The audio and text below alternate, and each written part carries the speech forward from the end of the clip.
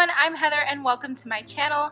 So instead of a DIY, today's video is going to be a little different. It's going to be a little bit of a shaky vlog. I'm going to take you guys around my classroom. A few of you may know this already, but if you're new to this channel, I am currently a first year fourth grade teacher and I'm very excited to start the year. So I've set up my classroom. It's just about done. I'm a sweaty mess. I've been here for the past week and a half or so getting everything ready. I just want to give you a quick classroom tour and let you in on a few of the DIYs that I've done for my room. So let's get started. So I figured a good place to start would be the front door. This is what you see when you walk in.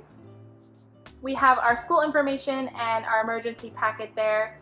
And then we have our sign in and out board. And I really should just call it our sign out board because I'm only going to be having students sign their name and tell me where they're going whenever they're leaving. That way I have a visual space to, or I should say visual area to look at and go, okay, who is where, not just who's gone. Um, below that, we have our equipment basket. And this is actually a blanket basket that I got from Wayfair. And we ran out of room in our apartment for it. I didn't really have a space. And it was right around the time that I started planning for my classroom, so I was like, you know what, I'm taking it to the classroom. Figured I could use it somehow, and it actually turned out to be a really good equipment basket, so I stuck that there. And then this lovely beauty, I think I may have posted a picture of this um, already um, on my Instagram account. We have this area where people in our apartment complex can leave larger items. This stand was actually back there and I was like, you know what? This is a perfectly good stand. So I pulled it inside, cleaned it all up, scrubbed it down, painted it, and then added this wood surface. So yeah, right now I just have it here. I'm sure that as the year goes on, I'll find more uses for it, but it's just as a tissue and hand sanitizer as we walk in and out of the classroom. Above that, we have our classroom job board. If you see anything that you like, I'm going to do my very best to link everything down below to let you guys know where I got everything. But a lot of this cute stuff I purchased off of Teachers Pay Teachers. So this is a, um, I know it's called Classroom Jobs for Big Kids, but I cannot remember the seller's name. So uh, go ahead and look down below in the description box if you would like to know where it's from. But I just love it. She had, the seller had a bunch of different options that came already made and then it also came with an editable version so you could change things. So I think that they had um, an iPad engineer and I changed it to Chromebooks because we don't uh, have iPads in my school. So I set that all up. Um, I actually shrunk them down because they, they came a little larger. So I shrunk them down and um, I put them up there for right now. I didn't shrink the numbers down. I think I'm going to do that, but I don't know. I already made the numbers, so we'll see. And I like that you can put that all up and then the students' numbers are the ones that rotate. I just love the way this looks. I like that it's bright. I like that I chose the black butcher paper, or I should say just black chalkboard style paper. If I can't, you probably can't really tell on camera, but it's chalkboard style. But yeah, so you just put them all up there and they don't move unless you wanted to change a job. But other than that, the numbers are what move. So let me give you a quick overview of the room. So if I stand at the door, here is my classroom.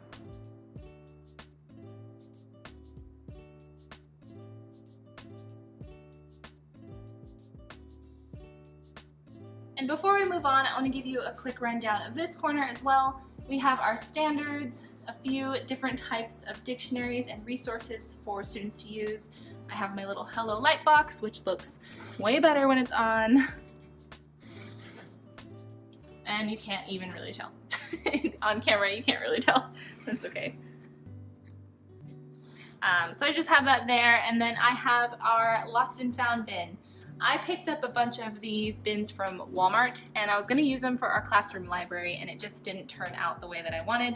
Um, and I didn't actually need all the ones that I bought, so I had already cut off the tags. I didn't want to mess around with having to return it, so I just figured I would use them in other ways in the classroom. So I just put some vinyl on there using my Cricut machine and it says, help me, I'm lost. And yeah, I figured it's big enough for larger items. I like that it's right here. If students know that they've lost something, they can come over here and check real quick. Moving on, we have our student desk and student name tags are all set up. I covered up that area because it has a student's first and last name, But these are my name tags. Um, a lot of the stuff in my classroom, actually, I do know that seller. A lot of my stuff in the classroom um, came from uh, Teach, Create, Motivate on te uh, Teachers Pay Teachers. So these are the name tags I purchased. They came with like little cartoon options here, and I chose to go without the cartoons just because I didn't, I don't know, I don't know what all of my students look like yet, so I didn't want to give them the incorrect character. So I just kind of left that blank. Next to the name tags, I put the Target uh, 4x4 pocket labels. Over here we have my desk area, and I just taped a few of the positive or growth mindset quotes that I got from Teachers Pay Teachers. I just taped them on there for decoration because I kind of want to decorate my desk, but I'm not sure how yet. So we'll see. I have to find an outlet for that lamp. So there's one right there, a little far. We'll figure it out. Um, and on my desk, I'll go around. Here's my little desk corner. So I have this cart here, which is from Michaels, and I got it all set up. I figured it would be a good little landing dock for anything that we're working on. I'm not sure if I want to keep it here by my desk or here by our um, technology cart, which is basically, we call this an Elmo because that's what the name of the uh, projector or, you know, overhead is called. So, I don't know, it might work there. I'm a little concerned about it being, you know, close to student hands, or I'm already concerned about that being close to hands, but we'll see how it goes. For right now, I think I'm going to leave it here. By my desk is kind of like a command station for me. And on my desk, I just have the basics. We have just filing cabinet, and behind my desk, it's just my little decorative corner. I have my teacher toolbox, and then my bookshelf, which just right now holds my personal books, um, a few of the unit folders, a standards binder, binder, and um, you know, just my teacher's editions or my teacher manuals. On top of this shelf, again, I just have my teacher uh, toolbox.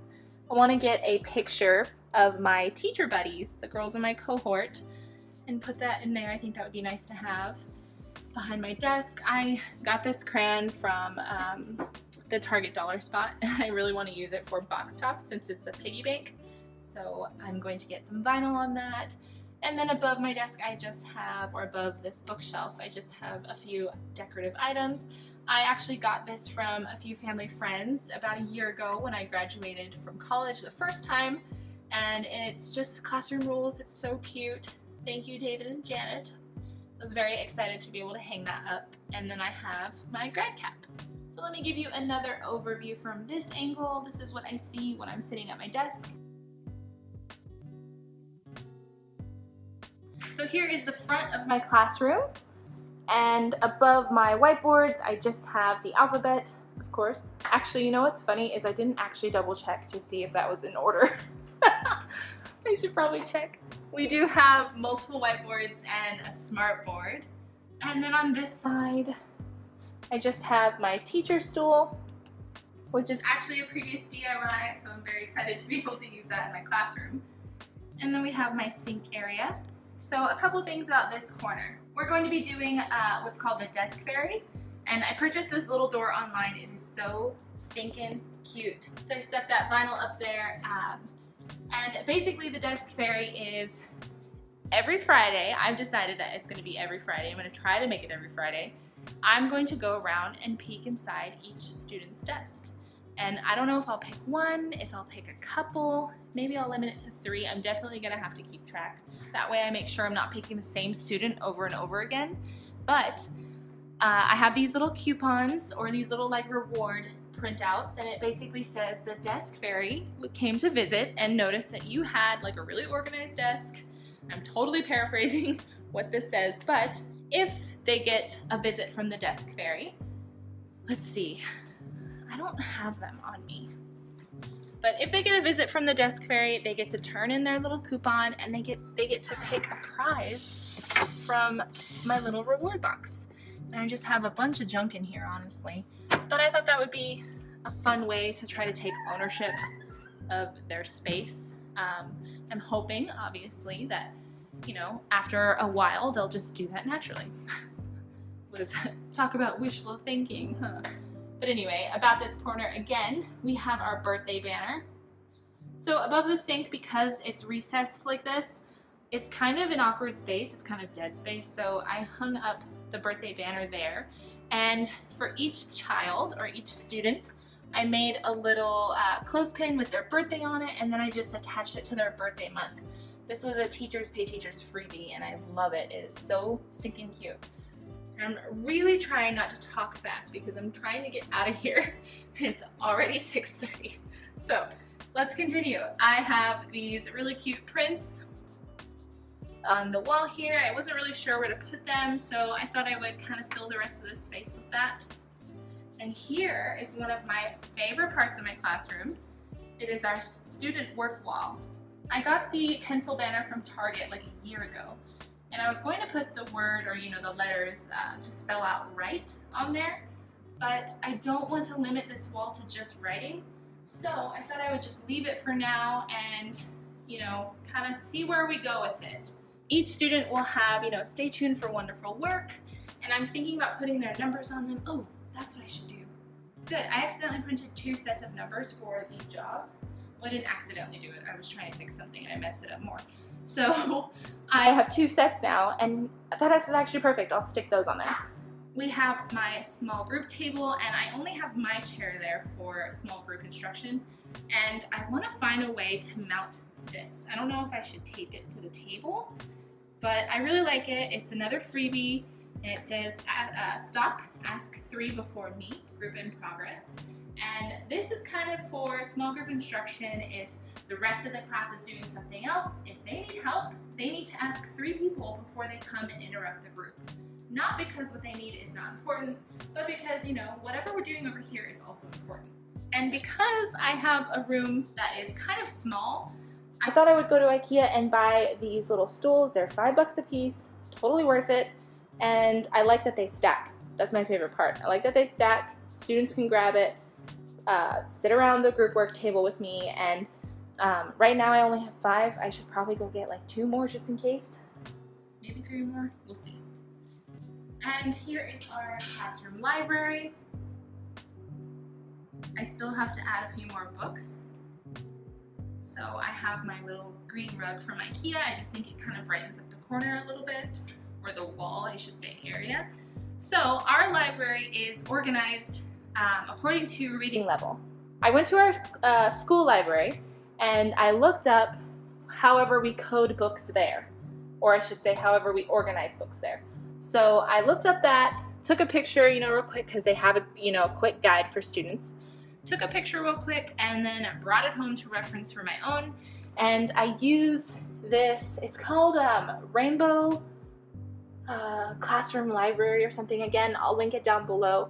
But it basically is a system to organize your library and you can do any color you want. So using her pack, this seller's pack, I forget her name, I created this little key for my students to use. And above, just like our library, it says this color is, well, this is how you would read it. Lexile level is on top and AR level is on the bottom. And so I put it for each color.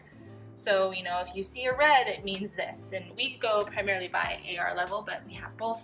So it says color guide. Here are our classroom library color codes. Use them to help put books back in the correct place. I really like this system because it's still a leveled library, but it's really easy to keep organized. I love that it's just a quick sticker. Students can quickly glance, you know, oh, I get yellow books whenever we go to the library, so when we're in the classroom library, I should probably be looking at library, library. I should probably be looking at yellow library books. I really like that, and it, you know, when you're standing from here, not only is it organized, practical, but it also looks really pretty. so I'm very happy about that. And over here, we just have this little corner. I have my growth mindset uh, bulletin board set or just, you know, growth mindset picture set. Again, I believe that one, yes, Teach, Create, Motivate on Teachers Pay Teachers. That bin is from Ikea and it just right now is holding our, um, I guess, oh my gosh, I'm in that mode where you're just like forgetting words. Chair cushions. Those are cushions that they can choose to purchase with our positive behavior incentives. This little cart here, I'm not entirely sure what I want to do with it. I think I might take it home, but I'm gonna leave it there for now because eventually I'm going to add more books.